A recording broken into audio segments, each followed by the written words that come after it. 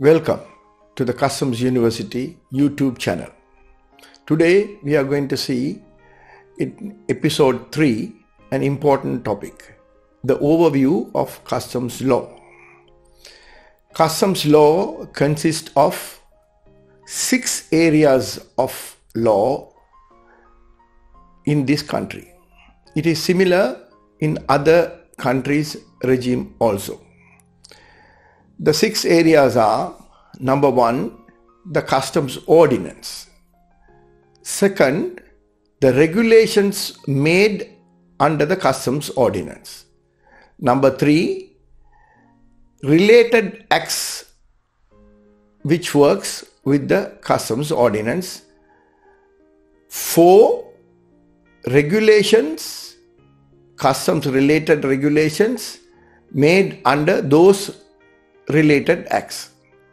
Five, case law, that means judgments on customs cases.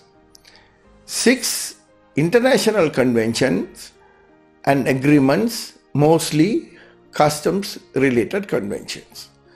These six areas comprise together as customs law in this country and in most other countries too. Now, when we look at customs ordinance, we say a customs ordinance now what we use is customs ordinance number 17 of 1869 came into operation from 1st of January 1870. We had customs ordinance before the present customs ordinance to say that our law started with this book. This book is the one of the surviving copy of the first customs law book in the world. This book is printed in 1833 for the customs of England and its colonies at that time as it was in 1825. Now thereafter in Ceylon there were several other ordinances 1836 1837 1856 so on. And finally a consolidated customs ordinance was compiled in 1869 and came into operation from 1870 that went through so far around 150 years 51 amendments and as it appears with you as Customs Ordinance chapter 235. Now, Customs Ordinance chapter 235 as amended now comprise around 199 sections plus one which stays beyond the customs ordinance and seven schedules now we have the customs ordinance we call customs ordinance chapter 235. For the purpose of this lecture, we will be referring to chapter 235. But when it comes to certain cases, we will be referring to the customs ordinance chapter 185. I'll explain that later. Now the customs ordinance was again compiled in 19 90 like this by me. But this is the one which is available in the government as a government print. But remember this book is only an official print not an official compile passed by the parliament.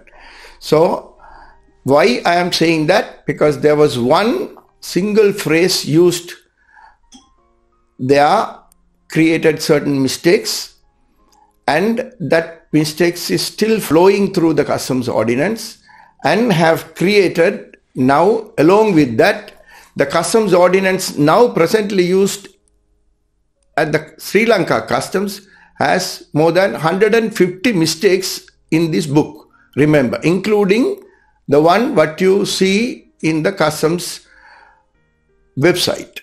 So when you are serious you have to make all those corrections as and when we go into this study, we will be making those 150 odd corrections.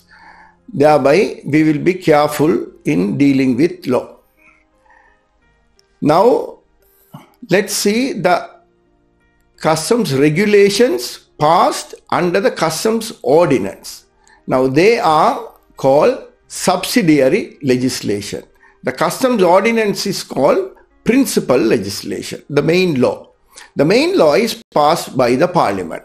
The regulations are, if that is provided in the customs ordinance, then the regulations are made by the Minister of Finance. There are also notifications made by the Director General of Customs. There was a time where the Principal Collector of Customs could make regulations, but now those powers are removed. So now the Director General of Customs can only make few notification as provided in the customs ordinance. For example, rate of exchange notification you may see every two weeks. Every time a bill of entry design is changed, Director General Customs may make a notification of that design. Or when the value declaration form is changed, he will make a notification. The last one came in recent, the recent July 2021, the last uh, notification on value declaration form uh, came in. Both the regulations and the notifications, when they are made by the minister and the director general of customs, have to be published in the gazette. Until it comes in the form of gazette, it is not a valid law. There are few exceptions made for this. For example, making a revenue protection order or certain uh, order under Excise Special Provisions Act, where as soon as the minister puts his signature, it becomes the law. Otherwise, all the regulations have to be passed by the parliament as and when it is convenient. But it becomes a law as soon as the gazette is published. There are several cases where the gazettes were not passed, but the regulations were implemented and the, the court has given the ruling. Like we pass regulations under the customs ordinance, there are customs related regulations passed under the related acts too. Related acts are now numbering more than 140 acts and ordinances which works with the customs ordinance or give certain jobs to the customs officer. So they have to be read along with the customs ordinance for the purpose of implementation. So regulations passed under the certain uh, those acts also become part of customs law. Now we talk about case law. Case law means judgments in customs cases from the superior courts. Superior courts here means Court of Appeal and the Supreme Court. And before 1972 the Privy Council of England. All these judgments now numbering more than 300 reported around 140 are reported I think. Reported and unreported, all those they make interpretation and explanation to certain provisions of the customs ordinance or to those related acts in relation to a particular situation brought before a court.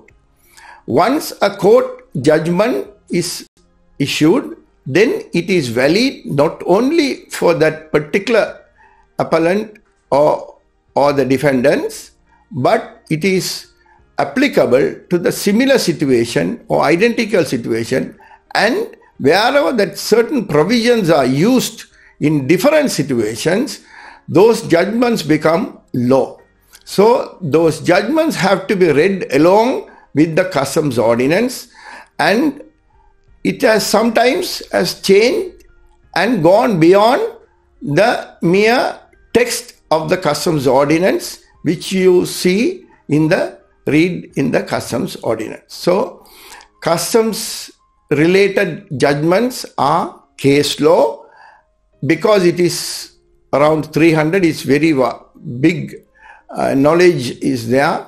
One had to study that very carefully. The last the sixth area is customs related conventions generally made by the world customs organization.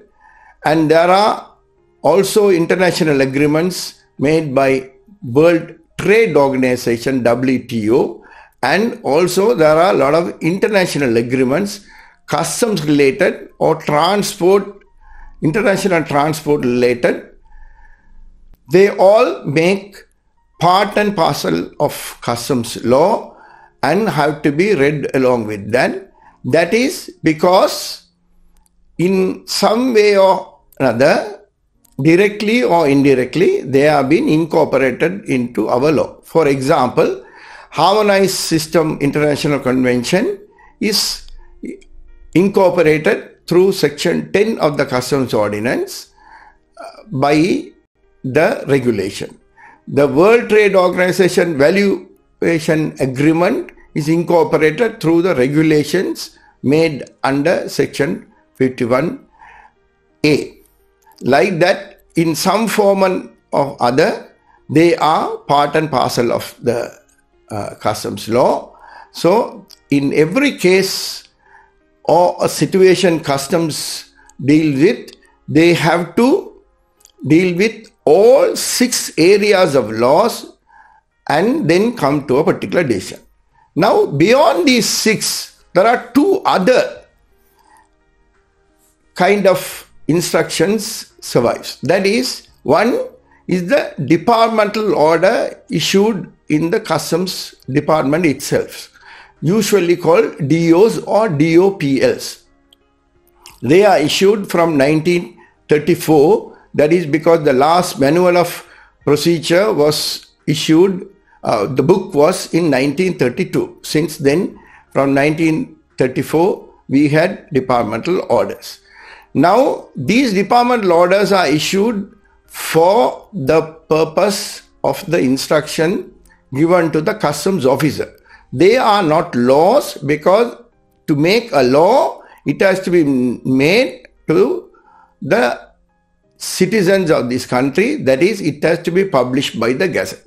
So, if anything is published in a department order, it is not binding the importers or exporters. You may see when you look at a department order, it says to all officers and generally they are made in line with the published law. There was a case in the Supreme Court where the Supreme Court has reprimanded the Director General of Customs and warned not to make any departmental orders against the principal legislation unless it is a principal legislation provided those instructions the Director General of Customs should not make department lawyers against the main law. Then the another set of area which we won't consider as a customs law is the international trade law. The lawyers knows or the students they study international law, uh, bill of lading, transport, and there are shipping laws, banking laws. There are several laws which comes works with the customs, but they are not considered customs law and they are not needed to be considered along with the customs law in any customs cases unless the situation demands in such a way where particular banking law have to be read along with that through a particular regulation say exchange control regulation Otherwise, those are not studied. We will not be referring to those laws. Although they are relevant, they are not customs laws. Now, we will discuss each of these areas in detail later in, in our videos. But primarily, I wanted to warn you one important thing. Why a person should study customs law? Seriously. That is because of the punishment. I would say the customs ordinance today in Sri Lanka is the most dangerous and the most cruel statute in the world. You may ask why. We will give an example. Let's say an import which has become a question of customs case value is 10 million. At the end of the case, the goods may be forfeited. So 10 million is lost. But then further to that, there may be the importer, the agent, and, and another person may be charged with the penalty three times of the value. That is 30 million each. That means 30 million each makes 90 million plus 10 million already lost is 100 million lost. Now it doesn't stop there. Beyond that, it can go and the customs ordinance provides you, you will be surprised, no, up to 15 years jail term, rigorous imprisonment. Are you happy? No, not enough. Even it goes, the, the last step is confiscation of your property. You can see for a problem of 10 million in imports, you are ended up with 100 million lost, 15 years up to 15 years jail term, confiscation of property. Now you may think that this is very extreme case maybe for importing drugs. No, not for importing drugs, heroin or something. Just a 20,000 meters of textiles is more than enough to give you this amount of punishment. You can see no statute in the world has this much of cruelty.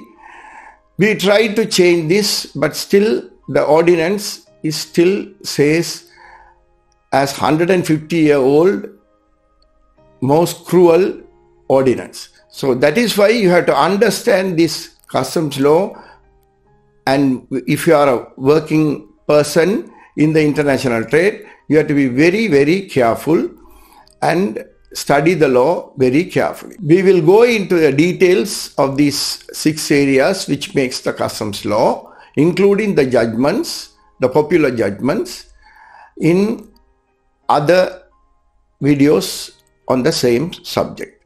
Thank you very much.